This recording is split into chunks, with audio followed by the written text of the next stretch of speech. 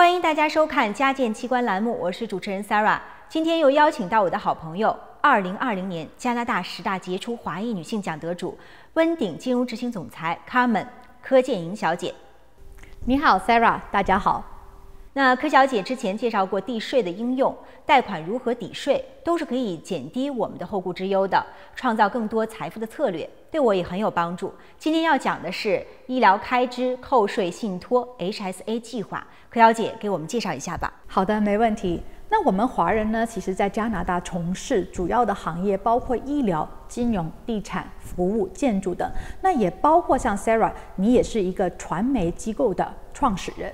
那很多自雇类型的行业呢，都会开设公司，注册一个啊运营公司或者是 number company。对。那房地产的话呢，会注册一个叫 PREC Prac。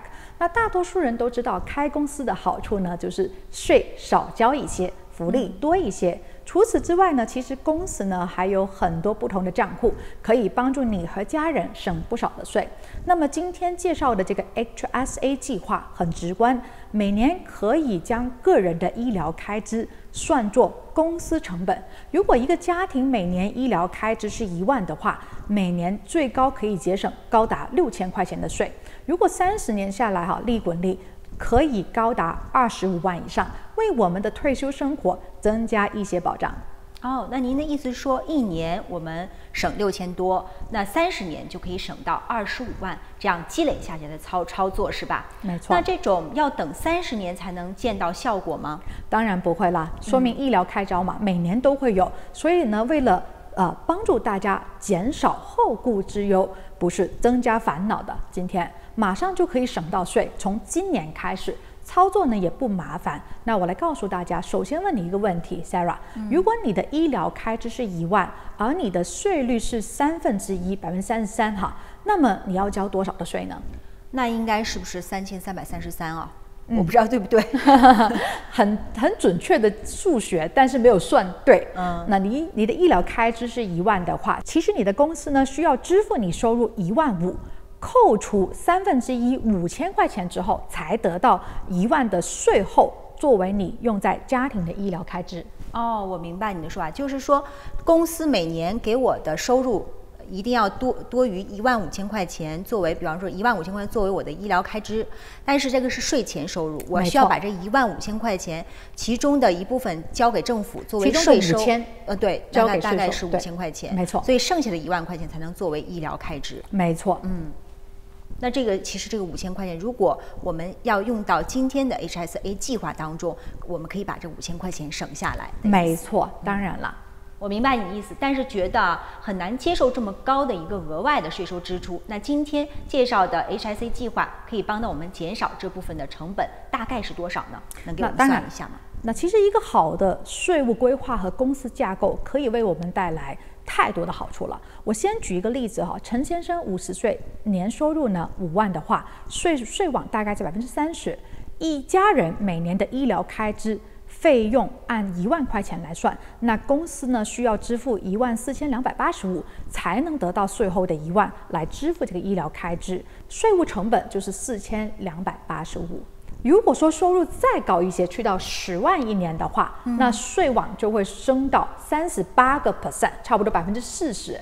那同样的医疗开支一万，公司成本就会去到一万六千一百二十九，多付出了六千一百二十九的成本，才可以拿到这个一万去手里面支付这个费用。同样的支出，在没有一个良好的架构情况下，收入越收入越多，付出的成本越高。嗯，我明白你说的意思。其实现在我们 HSA 这个计划实际上是改变了我们以前的付费方式。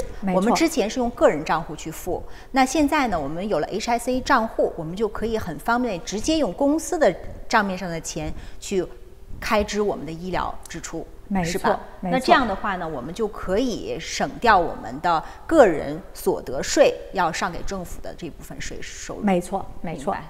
嗯，那真的非常好啊。那这只针对于医疗开支的话，我们不是还有一个省政府给我们的 MSP 计划吗？这个不是也很好？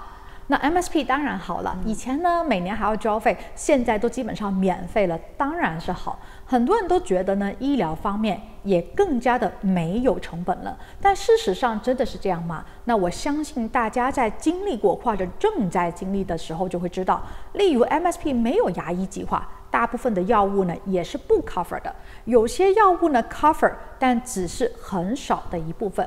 那小病小痛，譬譬如就是伤风啊、感冒，二三十块钱的药包不包也没有太大区别。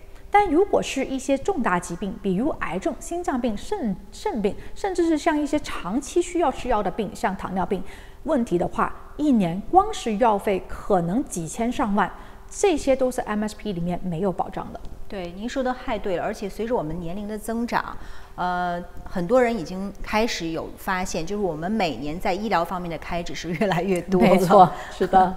呃，那我们华人啊，经常会有，比如说回国的时候，去其他国家度假的时候，碰到要看病要吃药的时候，MSP 是不是也会 cover 呢？嗯，在加拿大境内都不保了，那更不要说出了国之后了。这些可能产生的费用，不只是没有 cover，还需要你的税后收入来支付。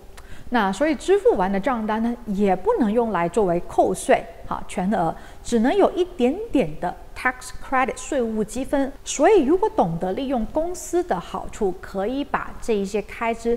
都作为这个公司的成本来运作，起码先省了一大笔的税嘛。嗯，谢谢柯小姐啊。那再多告诉我们一些，和我们分享一下，有哪些是这个 HSA 计划可以 cover 的，而政府的 MSP 计划是不 cover 的部分呢？嗯，那其实因为 MSP 呢计划覆盖的非常少，所以 HSA 可以 cover 的太多太多了。首先，像你刚才说到的境外医疗就是 cover 的，此外还有。呃，喜欢运动的朋友，那有时候摔伤了，可能要打个石膏，买个固定器，都是 cover 的。那这些动动不动就上千了。还比如说一些就是特殊的工种鞋，特别像啊，举个例，做厨师的，那他们长期要站着，那配一双这样的鞋呢，也要过千。那还有就是。你有小孩的话，嗯啊，可能每一年都要配眼镜，包括我们有时候要为了保护我们的眼睛的健康，也要是配一个太阳眼镜。那近视的啊，远视的都可以用在这个 HSA 里面 cover。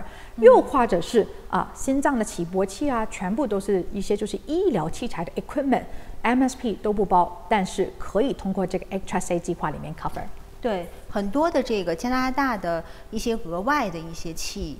啊，器器材吧，嗯，器材，呃，比如说像做白内障手术植入到我们眼睛里的镜片，对，很多都是啊，有只只有几种类型的是他们 S M S P 呃是包含的，但是只要是好一点的镜片，MSP 都是不保的，而且都是啊小则一两千，大则上万的都有，所以说这些可能都是很大的一块开销，对，嗯，那直接用公司的钱来支付，不用另外交税吗？对，没错，直接作为公司成本，没有额外税务支出。另外，药物也是一个非常重要的方方面哈。我经常帮客人 claim 的时候，都会发现像糖尿病啊、心脏病啊、心血管的病啊，每天都需要吃药呃，而且长期需要吃药，也都是 HSA 可以 cover 的。嗯，那医疗服务方面都包含哪一些呢？家庭医生这一块肯定不用额外的付费了。对，那。第一个最重要的当然是牙医，牙医方面了哈，洗牙、补牙这些常规每年都会做的了。那还包括种牙、矫形，还有所有的牙科手术都是在 HSA cover 的范围内。然后像针灸呀、物理治疗啊、按摩呀，如果常年我们都需要去做的话，持续性需要的服务这些都可以放在 HSA 里面。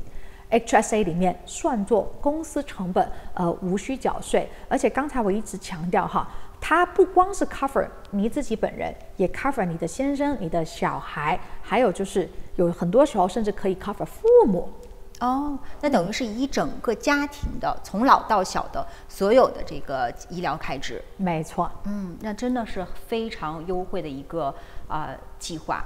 那 HSA 呀，听起来非常好，又包括这么多的项目，成本要多少？我们怎么样去开通这个账户呢？那是不是每个月或者是每年我们都需要供款呢？嗯，问得非常好。这个 HSA 医疗开支扣税计划，它其实并不是一个传统的需要放一笔一笔钱进去的一个或者供款的一个保险或者一个计划。什么时候需要放钱进去呢？就是你真正需要用钱的那一刻，就是你真的去买药，真但是去看医生那一刻才会用到这个医疗开销。比如前面讲到一万块钱的医疗开支，如果没有 HSA 计划，那么你就需要用税后的钱、自己的钱去支付。有了 HSA 这一万，就可以直接用公司税前的钱从公司账户里面扣除，那公司不用付税务成本之余。个人使用这笔钱支付医疗开支也无需上税，所以这并不是一个以公司名义购买的医疗保险。对，其实呢，这是一个公司的税务架构，帮助你将个人、家庭的医疗开支合法合理的以信托的形式放入到公司，呃，获得这个税务优惠。与你就是购买医疗保险呢是截然不同。以前不了解的很正常，其实包括很多我的同行，甚至会计师都并不了解这个呃运作呃，所以今天也希望在这里呢解除大家的疑惑。嗯，您今天给我们介绍的这个 HSA 计划啊，真的是。呃，确实是跟我们公司买的医疗保险计划是完全不一样的。对，嗯，这个大家观众朋友们应该去学会去区分。HSA 计划呢，如何使用呢？我们是去银行去开通账户吗？嗯，其实基本上来说，像我们很多客户都是经过会计师介绍过来的。那他们在经过会计师开呃成立公司的时候，我们就帮他把这个税务架构就做进去他们的那个公司的账上了。所以并不是在银行里面开户，也不需要额外开户。实际上，那是通过我们专业的执照来帮呃客户成立。这一个 HSA 的信托，那一旦成立了这个呃信托架构之后呢，就是每一次去消费去用在那个医疗开支的时候，就可以直接把这一个账单报到公司的这个成本里面。另外也可以就是说呢，啊，通过一个就是手机软件直接来填写还有上报，非常的方便。每一个 claim 大概我估计花三十秒就做完了。哦，对。那但是我们在 claim 之前，我们开通的时候还是要请。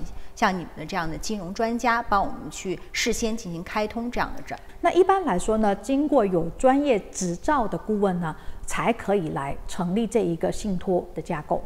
嗯，感谢卡门啊，给我们今天带来了这么专业的分享啊，你的专业、耐心和细致的讲解呢，给我们华人观众上了一堂生动的财税管理课程，让我们观众朋友们顿时有一种醍醐灌顶的感觉了。那真的是受益匪浅。那看来呢，财税管理啊，真的是一门很深的学问。观众朋友们，我们想要在加拿大生活无忧，实现财富自由，家建奇观栏目呢，可以给到你意想不到的财富规划策略。那温鼎集团与您同根共进，感谢您的收看。想要了解更多的财富规划内容，请扫描我们屏幕下方的二维码，或者是拨打电话与我们温鼎金融总裁 Carmen 取得联系。我们下期再见。